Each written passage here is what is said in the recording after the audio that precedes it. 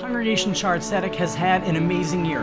Through a global pandemic, through lots of unknowns, we've emerged stronger than ever before. We've met the challenges with the strength and unity of family, hosting special events throughout the year.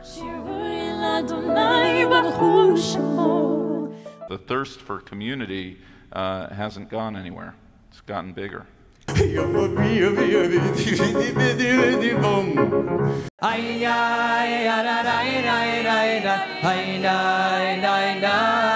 This is a first in the history of the Jewish people. We are beginning on time.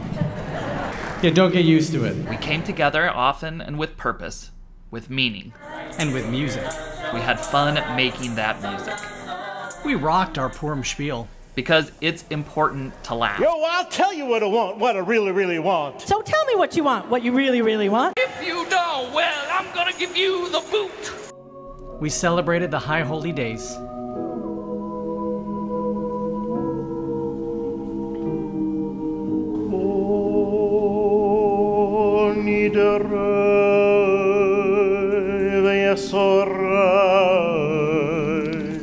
We introduced Metro Detroit to our playground. There's a dinosaur knocking at my door, and she wants to spend Shabbat with me. With you, with all Throughout Rosh Hashanah and Yom Kippur, outside together on our beautiful campus, we sang, we danced, we drummed, we laughed a lot.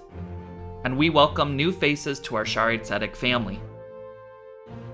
We celebrated our many generations coming together under one tent to celebrate Shabbat.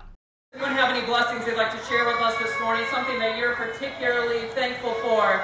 Thankful for pizza? Oh my gosh, for holiday dinners with your great grandparents. Amen, amen.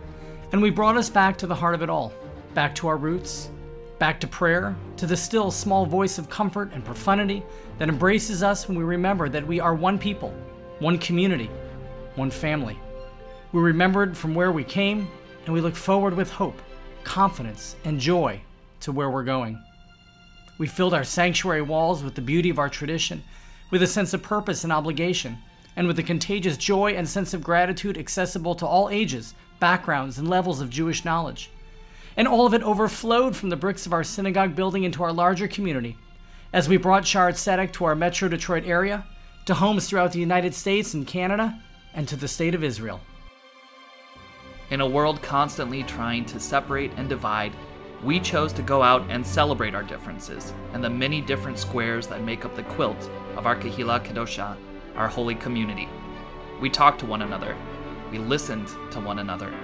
We learned about our histories, our backgrounds, our stories, and we introduced new initiatives, new committees, and new services to make that quilt even bigger, brighter, and warmer. Congregation Shaarey Zedek, a year of Jewish journeys.